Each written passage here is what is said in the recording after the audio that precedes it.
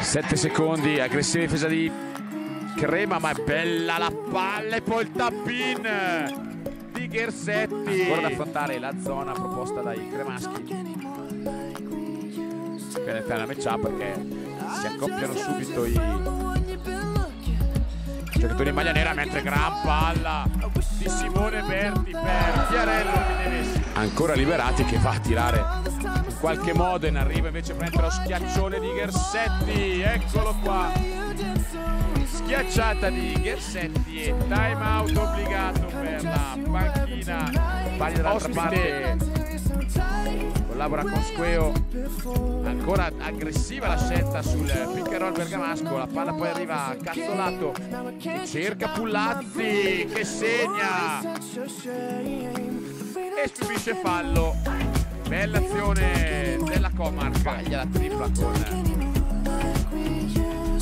Manuelli subito dall'altra parte Squeo per Pullazzi che inchioda uno schiaccione che senza ombra di dubbio andrà al numero uno della top 5 settimanale per Bergamo.